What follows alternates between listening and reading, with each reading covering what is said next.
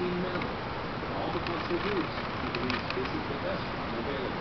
Why so better? To run it by rice, three pounds, like American? I don't think that's what the sacred way to do it.